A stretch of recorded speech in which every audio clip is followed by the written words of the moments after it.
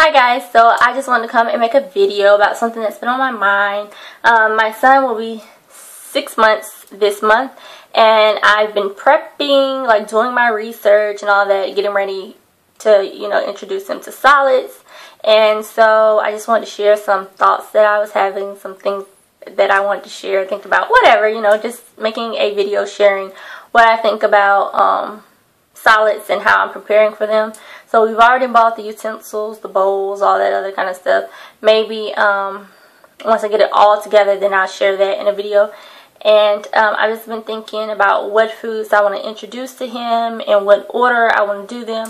Um, I'm definitely going to start off with vegetables. I've been hearing that from everyone. Don't start off with the fruits first. You want to start off with the vegetables um, because I guess technically the fruits are sweeter. They're going to like them. And, you know, if you introduce fruits, maybe they won't like to eat the vegetables. And then I also heard that some people mix fruits and vegetables together.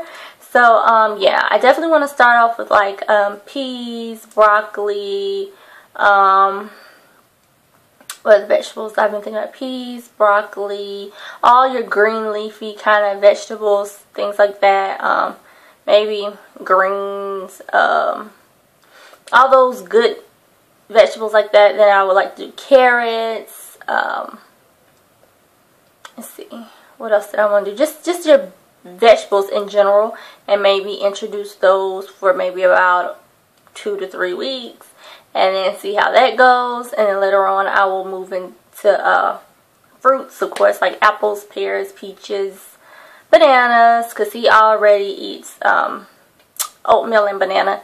And I know that people say that you can go ahead and make the oatmeal or this rice cereal and actually, you know, make it and feed it to them that way, but I just don't feel comfortable with that yet. I want to wait till he is six months because I just think it's too thick. They say that you can put um, the bottled milk in there and, you know, make it kind of watery. And I will also be introducing that and trying that at six months, taking his rice cereal and actually making it and then adding some of the um, milk from the bottle with it, making it kind of watery and um, table feeding it like spoon, take the spoon and feed it to him that way. Um, because I was advised I could have started that at four months or five months, I'm not sure, but I just didn't feel comfortable with that.